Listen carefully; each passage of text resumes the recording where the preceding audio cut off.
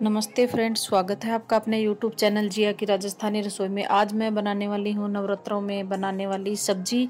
ये मैं आलू और शिमला मिर्च से बनाने वाली हूँ तो ये सब्ज़ी बहुत ही ज़्यादा स्वादिष्ट बनती है तो आप एक बार ज़रूर ट्राई कीजिए। तो चलिए फिर बनाना शुरू करते हैं। तो सब्ज़ी बनाने के लिए यहाँ पर मैंने दो मीडियम साइज़ के आलू लिए हैं, जिसको मैंने छील के कट कर लिया है। दो मैंने टमाटर लिए हैं, एक इंच का अदरक का टुकड़ा और चार हरी मिर्च।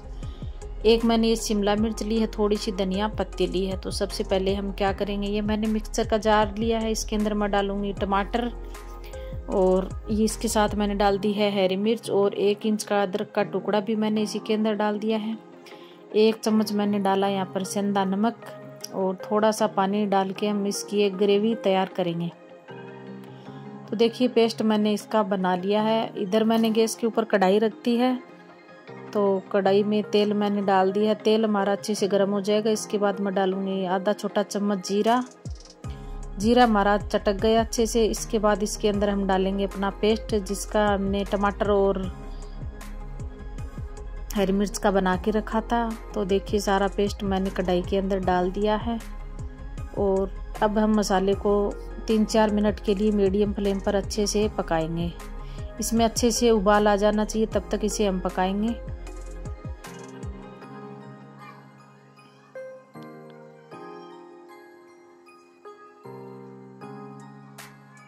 आप इसके अंदर चाहो तो काली मिर्च का पाउडर भी डाल सकते हो, लेकिन मैंने हरी मिर्च पाँच छः से डाल दी इसमें तो हरी मिर्च, काली मिर्च का पाउडर मैं इसके अंदर नहीं डाल रही हूँ। इसी के साथ मैं डाल दूँगी इसमें आधा कटोरी मलाई। तो देखिए, मसाले हमारे अच्छे से पक चुके हैं, अच्छे से उबाल आ चुका है। मलाई डालने के बाद लगातार इसको तीन चार मिनट तक ऐसे ही फेंटते रहेंगे। और गैस का फ्लेम मैंने लो कर दिया है।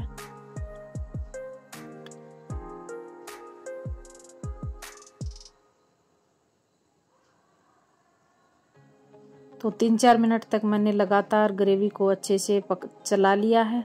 अब इसको एक डेढ़ मिनट के लिए अच्छे से और पका लेते हैं। इसको हमें ज़्यादा नहीं पकाना है, बस एक डेढ़ मिनट के लिए ही पकाएँगे। उसके बाद इसके अंदर हम डाल देंगे आलू और शिमला मिर्च।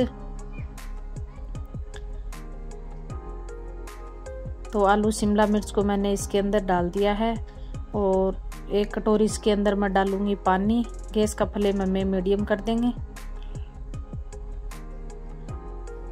तो एक कटोरी इसके अंदर मैंने पानी डाल दिया। पानी आप अपने हिसाब से कम या ज़्यादा कर सकते हो। अब इसको ढक के मैं मीडियम फ्लेम पर लगातार आठ नौ मिनट के लिए पकाऊँगी। बीच बीच में हम इसको चेक करते रहेंगे। तो देखिए, आठ नौ मिनट हो चुकी है, बीच में मैंने इसको चेक कर लिया है।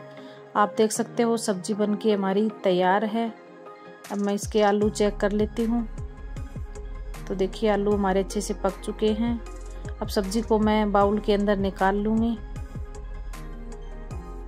और इसके ऊपर से थोड़ा सा डाल, डालूँगी मैं धनिया पत्ती। तो आप देख सकते हो, सब्ज़ी हमारी बहुत ही स्वादिष्ट बन के तैयार हुई है। और अगर आपको मेरा वीडियो अच्छा लगे तो लाइक करना, शेयर करना। और चैनल पर नए हैं तो प्लीज़ चैनल को सब्सक्राइब ज़रूर कर देना।